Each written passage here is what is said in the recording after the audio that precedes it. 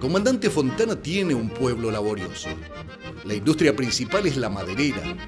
Existen decenas de ladrillerías y carbonerías y por supuesto la agricultura y la ganadería son sustentos de un presente y vocación de futuro.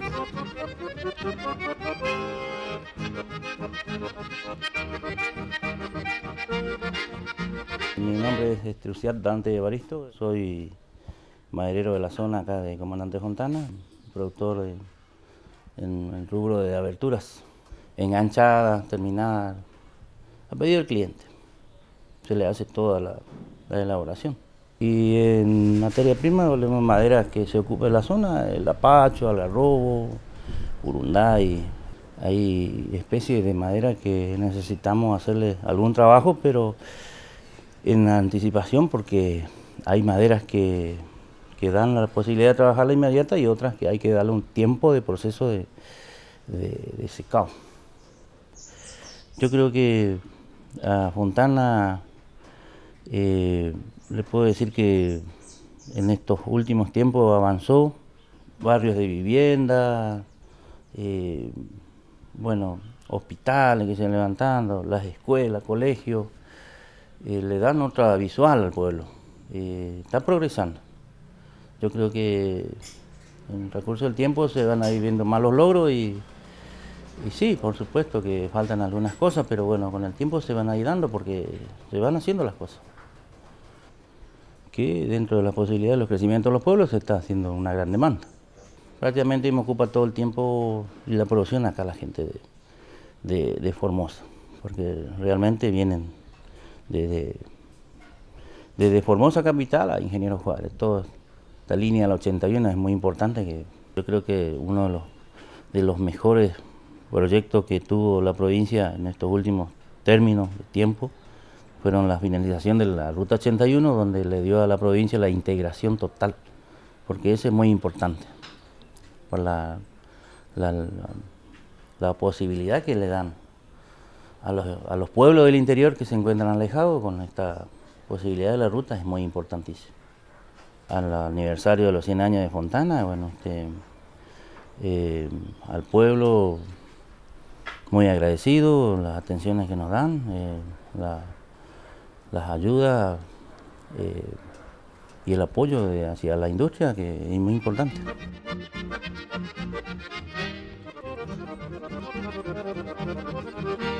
Mi nombre es José Miguel Piberno, soy bisnieto de una de las primeras pobladoras de Comandante Fontana, doña Paula Santander.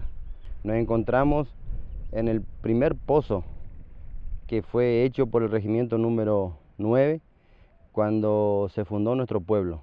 Estamos en el lugar exacto donde se asentó el regimiento y este pozo era la única agua dulce que ellos contaban en su momento. En nuestros tiempos, nuestra localidad mayoritariamente a lo que se dedica es a la ganadería, como lo fue siempre, también a la agricultura y actualmente, con el apoyo incondicional de nuestro intendente, la parte de ladrillería de nuestro pueblo y carpintería, elaborando proyectos y ayudando con la nueva herramienta que cuenta el municipio, que son dos retros, son dos máquinas que mañana y tarde trabaja a la par de los ladrilleros. Es una fuerte ingreso, eh, una fuente de ingreso muy grande para nuestra localidad. En la parte ganadera se avanzó mucho, eh, con el apoyo incondicional de nuestro gobernador Gino Infran, con los proyectos ganaderos, tanto para pasturas, aguadas, alambradas y muy especialmente en la forma de reproducción, en la forma eh, cambiando, digamos así, la genética de nuestro rodeo.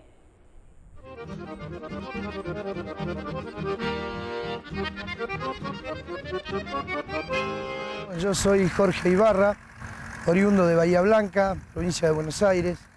Hace más de 25 años que visito esta provincia y me he instalado aquí en Comandante Fontana para la fabricación de carbón vegetal. Nosotros fabricamos carbón aquí en Comandante Fontana, llevamos a Bahía Blanca y de ahí distribuimos a todo el sur argentino, eh, todo para consumo interno. Es, una artesanía, nosotros lo trabajamos todo con gente originaria de la zona, principalmente aborígenes, cargando los hornos, después se procede al quemado de la madera y bueno, después de un largo proceso eh, los habitantes pueden disfrutar de una bolsita de carbón, algo que piensan que es tan simple como ir al supermercado y llevar el carbón para hacer el asadito, pero realmente detrás de todo esto hay un proceso muy largo y a veces eh, muy sacrificado. Estos últimos 15 años aproximadamente eh, hemos visto un cambio, eh, pero tremendamente grande porque la provincia está hermosa, ha crecido mucho, estamos llenos de rutas, las que no están hechas se están haciendo, tenemos mejoras de todos tipos, muchos barrios, muchos hospitales, salitas de emergencia, eh, bueno, eh, anfiteatros, polideportivos. Realmente la provincia ha cambiado muchísimo eh, y no estoy hablando de, una orientación partidaria, sino de la realidad, de lo que vemos, de lo que veo todos los días y cómo he visto el cambio que, se ha producido. Hoy tenemos el pueblo muy bien arreglado, se están ripiando muchas calles, tenemos un parque vial muy completo. Esto ha crecido mucho y como, como esta población, eh, prácticamente la mayor parte de la provincia de Formosa, o diría toda la provincia de Formosa, está creciendo eh, de la misma forma. Hacía mucho tiempo que en este país no se veía.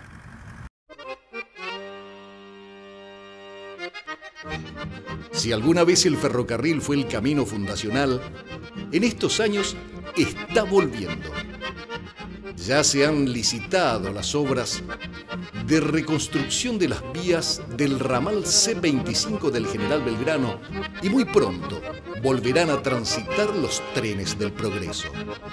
Comandante Fontana, 100 años de historia, con tradición de valores, cultura, sueños, trabajo y juventud. Feliz centenario, comandante Fontana. Fontana mía, piel de amor, te llevo dentro. Pueblo pequeño, sos mi universo, donde se acunan mis sentimientos. Y en mi cantar yo soy tu voz, un reflejar del corazón. Fontana mía, piel de amor, te llevo dentro.